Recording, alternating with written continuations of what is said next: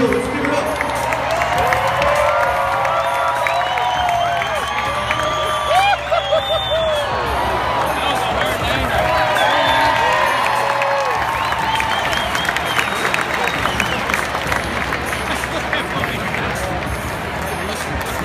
Right, welcome to City of Two, the officer.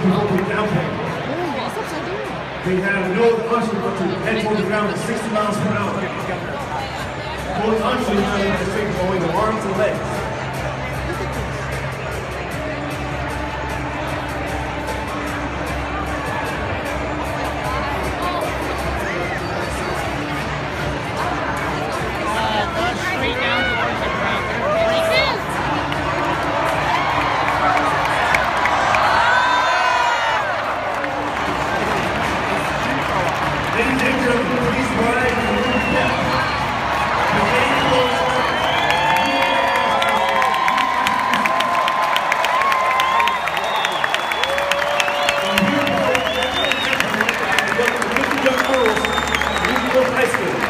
Massachusetts, 16-year-old Cameron